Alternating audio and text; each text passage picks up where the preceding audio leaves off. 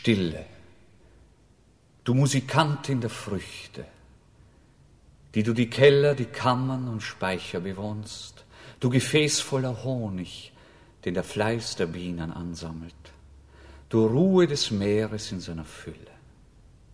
Stille, in die ich die Stadt von der Höhe der Berge einschließe, ihren verstummten Wagenlärm, ihre Schreie und den hellen Klang ihrer Schmiedehämmer. Alle diese Dinge sind schon im Gefäße des Abends aufgehoben. Gott wacht über unserem Fieber. Sein Mantel breitet sich über die Unruhe der Menschen. Stille der Frauen, die nur noch Fleisch sind, in dem die Frucht reift. Stille der Frauen unter dem Vorrat ihrer schweren Brüste. Stille der Frauen, in der alle die Eitelkeiten des Tages und des Lebens, das die Garbe der Tage ist, zur Ruhe kamen. Stille der Frauen, die Heiligtum ist und Fortdauer. Stille, in der sich dem kommenden Tage entgegen der einzige Lauf vollzieht, der einem Ziele entgegenführt. Sie hört das Kind, das in ihrem Leibe stößt. Stille, Verwahrerin, in die ich meine ganze Ehre und mein ganzes Blut einschloss. Stille des Menschen, der sich aufstützt und nachdenkt, der fortan ohne Aufwand empfängt und dem Gehalt seiner Gedanken eine Form gibt. Stille, die ihn erkennen lässt und seine Unwissenheit möglich macht. Denn zuweilen ist es gut, dass er nicht weiß. Stille, die sich den Würmern, den Schmarotzern und den schädlichen Gräsern versagt. Stille, die dich bei der Entfaltung deiner Gedanken behütet. Stille, die selbst die Gedanken erfüllt. Ruhe der Bienen, denn der Honig ist bereitet und soll nur noch ein vergrabener Schatz sein und ein Schatz, der reift. Stille der Gedanken, die ihre Flügel breiten. Denn es ist schlecht, wenn du in deinem Geiste oder deinem Herzen unruhig bist. Stille des Herzens, Stille der Sinne, Stille der inneren Worte, denn es ist gut, wenn du Gott wiederfindest, der die Stille im Ewigen ist, wenn alles gesagt wenn alles getan ist.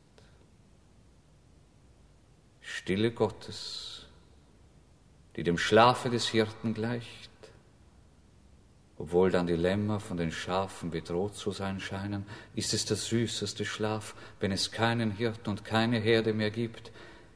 Denn wer vermöchte sie voneinander zu unterscheiden unter den Sternen, wenn alles Schlaf ist, wenn alles ein einziger wollerner Schlaf ist? O Herr, möchtest du eines Tages, wenn du unsere Schöpfung in die Scheuer einbringst, jenes große Tor für die geschwätzige Rasse der Menschen öffnen? Möchtest du ihnen im ewigen Stall ihren Platz weisen, wenn die Zeiten vollendet sind?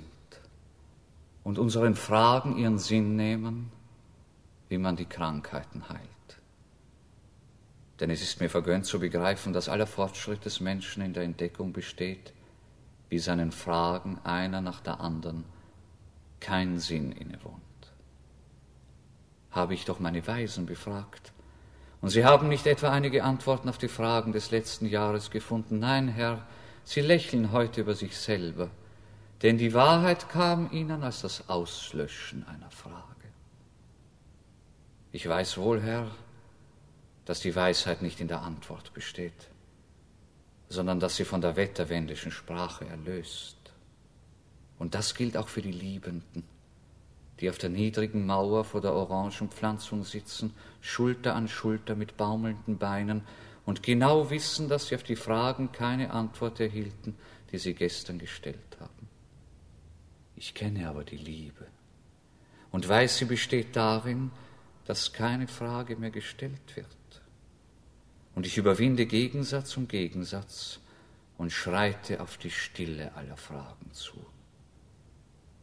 So finde ich die Seligkeit.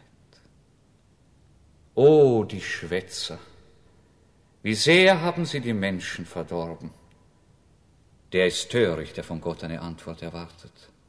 Wenn er dich aufnimmt, wenn er dich heilt, so geschieht es, weil er mit seiner Hand deine Fragen gleich dem Fieber von dir nimmt.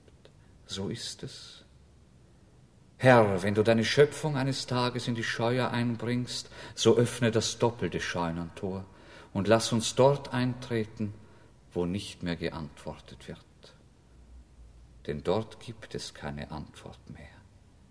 Aber die Seligkeit, die der Schlussstein der Fragen ist und die Schau, die befriedigt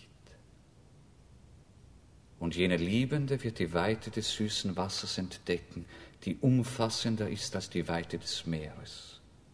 Und er wird gewahr werden, dass ihn seine Ahnung nicht trug, als er das Rauschen der Brunnen hörte, als er die Beine baumeln ließ und sich an die Geliebte schmiegte, die doch nur eine zu Tode gehetzte Gazelle war und ein wenig aufatmete an seinem Herzen. Stille. Hafen des Schiffes. Stille in Gott. Hafen aller Schiffe.